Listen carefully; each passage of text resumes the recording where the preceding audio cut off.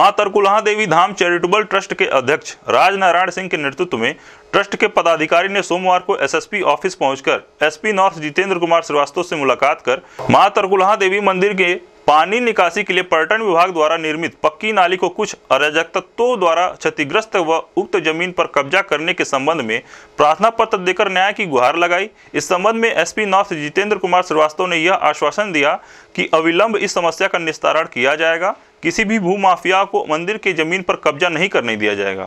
ऐसा करने वाले दोषियों के विरुद्ध पुलिस कड़ी कार्रवाई करेगी।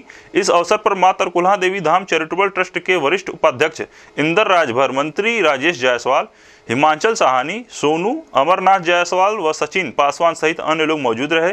इस संबंध में गोरखपुर न्यूज़ संवाददाता से बात करते हुए माँ तरकुल्हा देवी धाम चैरिटेबल ट्रस्ट के अध्यक्ष राज नारायण सिंह ने कहा कुल्हा मंदिर परिसर में अवैध रूप से निर्माण कराया जा रहा है, टीन डाला जा रहा है, जो नाली बनी है उसके ऊपर अतिक्रमण करके वहाँ जो है अव्यवस्था फैलाई जा रही है।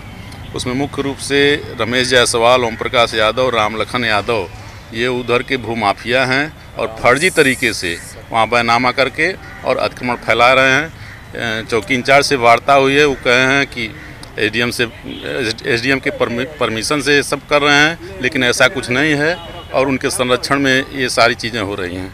आज किससे मिले हैं आप लोग आज S S P S P north साहब से मिले हैं और आश्वासन दिए हैं कि इसका जल्द ही निराकरण करा दिया जाएगा।